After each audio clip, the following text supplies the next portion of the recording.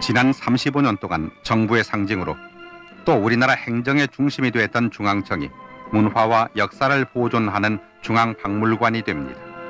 지난 5월 26일 박찬근 종무처 장관과 이진희 문화공보부 장관이 이 건물의 관리권을 인계 인수함으로써 정부 청사로서의 기능은 끝내고 박물관으로서의 새 역할을 준비하게 됐습니다.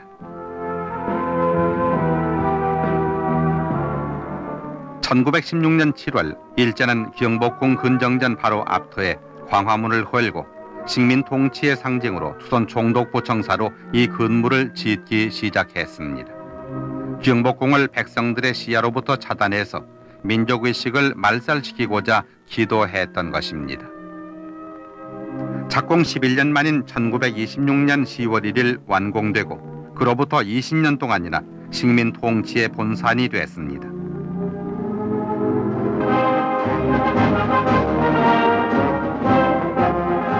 1945년 일제는 패방하고 이 땅에 진주한 미군이 이 건물을 접수해서 조선 총독이었던 아베 노부유키로부터 바로 이 건물 제1회의실에서 항복문서의 서명을 받았습니다.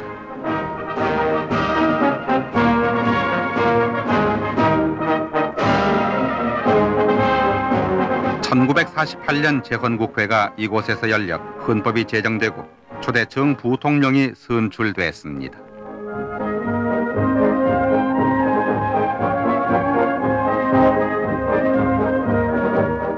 그리고 8월 15일 대한민국 정부 수립과 함께 이 건물은 중앙청이라는 이름으로 정부 청사가 됐습니다. 6.25 동란으로 남침한 북한 교례가 폐조하면서 불을 질러 내부가 모두 불타는 비운을 겪기도 한 중앙청.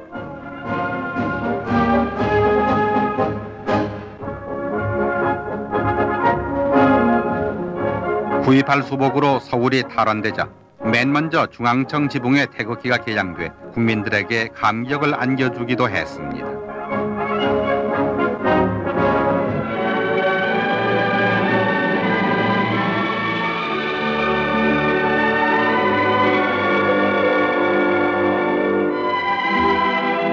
(60년대) 초에 내부를 복구하고 다시 정부청사로 사용해오던 이 건물에서 마지막 국무회의가 1983년 5월 19일 오전 김상엽 국무총리 주재로 열렸습니다.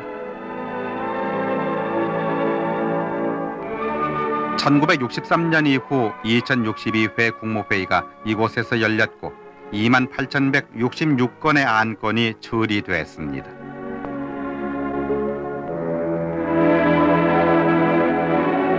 (5월 28일) 국무총리실이 마지막으로 정부 종합청사로 옮겨감으로써 중앙청의 기능은 막이 내려졌습니다.